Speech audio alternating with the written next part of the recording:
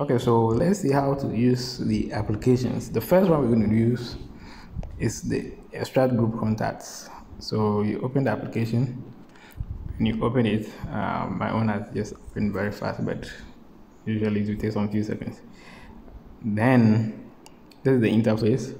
First of all, when you open the application, turn on this service and uh, extract group service. So it will ask you to go into your um, settings so that so you turn it on and turn it off again. So just toggle it so that it will ask you to go into the phone settings to actually do that accessibility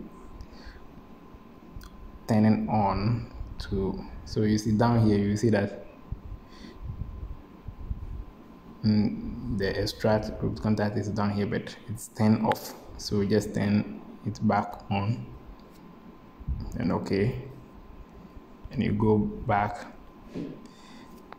Now here you can actually enter the group link. If you know it you can copy and paste it here then submit. Or better to just go to get group contacts. So when you go to get group contacts it will bring you to your um, whatsapp.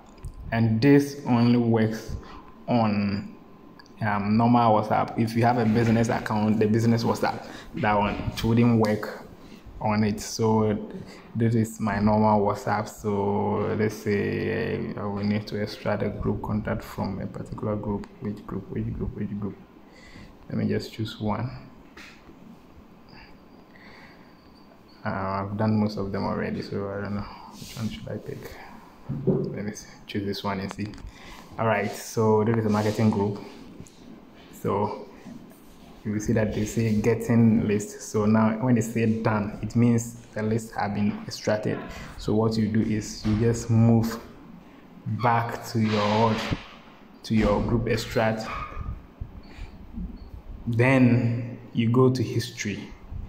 So you see when you go to history, it will tell you the total number of lists that have been extracted um, so this one, I actually didn't open the full list, so it shows only few people here. So they say what this number plus 97. Uh, so under normal circumstances, when you extract it, it will drop all the numbers for you to see. Uh, so from your own, to give you all the numbers for you to see. Then after that, what you do is you go to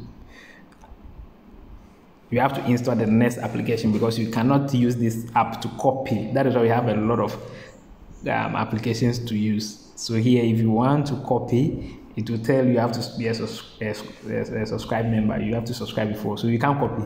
So now how to copy the uh, the contact list is what we are going to do.